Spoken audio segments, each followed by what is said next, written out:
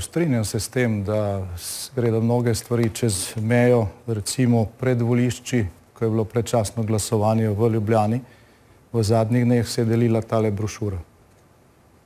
Vemo, kdo je imel stojnice pred volišči, naslov je Vladavina muh, avtorica Svetlana Makarovič in eh, novinar nacionalnega radija.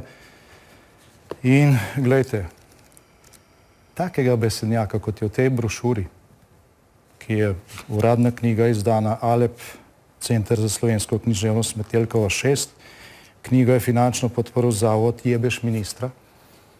Ne vem, kakšen zavod je to. Mislim, gledajte. Gospod Mesec, In- in- gospod no, no, no in poglejte, Ja. poglejte, kaj piše o slovenski demokratski stranki.